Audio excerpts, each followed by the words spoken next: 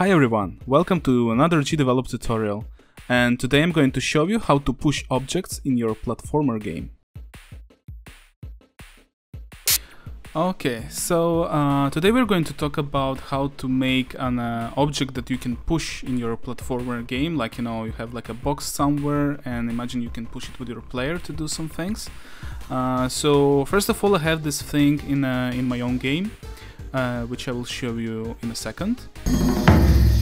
Okay, here is the game. Uh, let me go to the place where I actually have that object that we can push. Okay, so can you see that cage on top, like that box there made of wood, right? So I can step on it. But another thing I can actually do with this is just to push it. Cool, now I pushed it and I can actually move it around, right? Like this, like that. I have created like a really simple scene here. Uh, just to make it different from other tutorials, I just created some really quick uh, art for this. So uh, all these assets are 16 by 16 pixels, uh, and I already created some basic behavior on how you can make player walk on these platforms. Uh, so this tutorial is not about how to, you know, move your player. This is more about how you can actually make uh, your player move that box. So if you're not sure how to uh, make your player move, uh, you can check for some uh, basic GDevelop platformer tutorials, and I'll make sure actually that I'll create one as well. But what we he have here at the moment, if I run the game, is, you know, we have this little dude, he can run, he can jump, okay? And I have this box in the air because it has no behaviors, no actions, no nothing. It's just just a sprite which is there. Okay, so nothing, nothing here uh, is working at the moment. So uh, as I said, like what I have here is just you know to make the game uh, full screen at the beginning. I hi hide the hitbox. I center my camera on hitbox. I change the position of the player sprite to be always in the position of the hitbox. Then I obviously have actions like you know flip left and right depending on which case uh, which key I press, uh, and I have all the animation uh, behaviors for when trigger uh, idle animation, run, jump, and fall. So this is all like basic stuff I have for uh, for this specific example, just to make sure my player moves. Uh, but now we need to make sure that we can actually um, make uh, this box uh, movable so our player can you know push it in uh, and you know the box can fall from these platforms and you can push it left or right. Okay? So um, first thing um, really important one uh, we need to set up uh, uh, center points and origin points of these two objects right? Also of the player sprite and of the of the box. Okay? So I, I'm going to show you what I have here. So my sprite you know is 16 by 16 pixels okay? So and if you take a look at this box uh, it's 16 by 16 pixels as well okay? And another thing that they have in common is actually this origin and center points. So they are placed at 8 8 8 8 on all the axes. So that th this way we have this cross right in the middle of the sprite so if I show you this one, uh, same thing is here, right? So I have this cross right in the middle, 8, 8, 8, 8.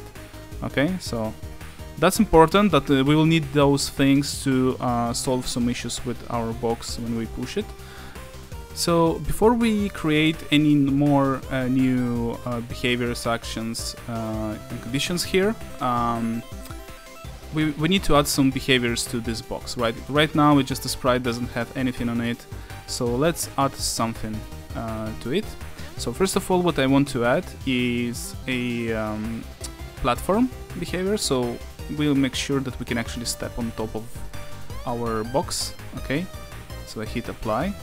And another one I want to add to it is uh, platformer character. I will need to use this to actually move the box and make it fall from the from the platforms. If there is, you know, if there is empty space, it will just fall down. Okay. So I choose platformer character, and obviously I have all this uh, set, uh, all these settings here. Okay, so just hit apply for now. Uh, so next thing I want to do is take a look at my hitbox uh, parameters because it has uh, platformer movement and that's actually what makes our player walk around right? With a certain speed I have here max speed. With uh, you know deceleration so when I release the key it kind of doesn't stop immediately but stops uh, like with a slight delay. Uh, I have the gravity so this is how fast it should fall and uh, falling speed as well. So I have all these values. So one thing I want to do for the box is actually to copy some of these to the box uh, because we will need to make sure it moves at the right speed uh, with the right falling speed and so on okay? So I remembered some of these values okay? So I hit apply and I go back to my box. So what my player had here as max speed it had 120 and so I do the same here because when we push our box we want to both these objects go at the same speed. Um, so gravity I think it was 500 uh, we can uh, we can make the gravity a little bit more, you know, because the box, let, let imagine that the box is a bit more heavy than the player, so it will fall faster. Uh, max falling speed we can leave like that. And another parameter I want to change is actually deceleration. Uh, I want to this uh, box to decelerate a bit longer than the player itself. So when you push it, it will uh, the player will stop, but the box will go ahead for a little bit more. So I'll put something like I know 180. Okay. Uh, now I hit apply and see what happens. So what will happen now is that the box will move with our player.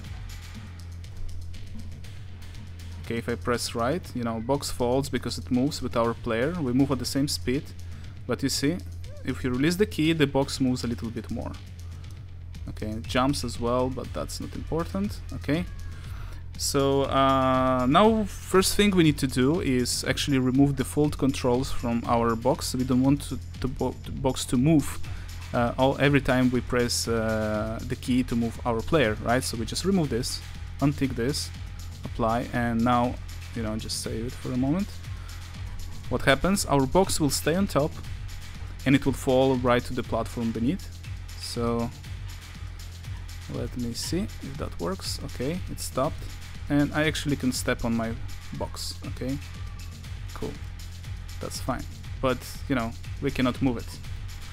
So let's go to the next part.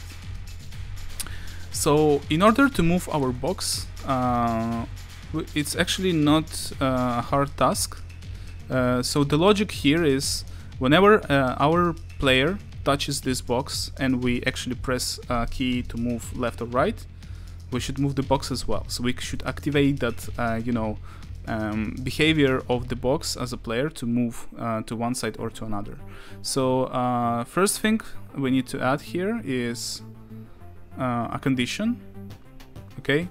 So my condition will be the first condition will be is uh, collision. So if collision between uh, hitbox and our box okay if they touch each other. And at the same time we actually press key. So key pressed. And let's say for now it's gonna be left.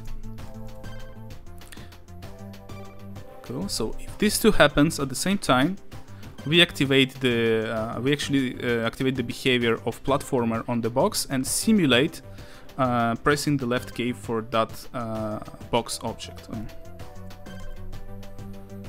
Okay, simulate uh, left K press. Okay, for our box object. Okay, so let's see. Let's see if that works. Just go there.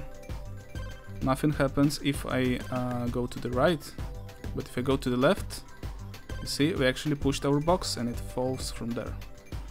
That's nice. That works. Uh, so I think what we can do next is actually to copy this, the whole thing, right? And paste. And now we just need to invert uh, all the sides, right? So hit with uh, so hitbox is in collision with the box, that's fine. And when we press the right key now, we just replace it to the right. And we simulate, obviously, uh, right key for the box as well object, oh sorry, uh, box and simulate right key press, this one, okay, for the box. Cool. So basically whenever we touch the object and we press left key, we will simulate pressing left key for the box as well. So same thing here, when we uh, collision with the box, we press right key, we simulate pressing right key for the box. So let's see if that works. Here's our box. Okay, we can push it to one side and we can push it to the other side. But you see now we have a problem. We have a really really big problem. So if we stay on top of the box and we press left or right, the box will move as well. You see? It seems like we have some glue under our player's shoes and it actually moves the box with, with itself. So this is a problem we need to try to solve. And uh, how to solve this problem? Uh, now you remember I told you about these, uh, you know, points, origin and center. So those those points will help us to understand uh, where is our player in relation to the box. And so we'll be using those points to make sure that the box cannot move when we are standing on top of it. And I will show you how to do this. Uh, thing we need to add is actually to check the position, the Y position, so on the vertical axis uh, of the of the player. So position, compare uh, Y position of an object. So I take my player and compare its position in relation to um, to our box. Okay, box Y. Okay, but what I need to put here, I need to put here greater or equal to box position Y. So that means if we are, uh, you know, on the same level or below our box, it will move.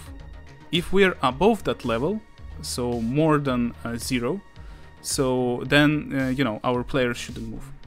Uh, our box shouldn't move. So I press OK. So that means like every time we're collision with the box, uh, every time we press that left key, and our position is equal or below our uh, box Y position, then it only then it will simulate this thing. So I'll just copy this and I put it here, and that should have solved our problem.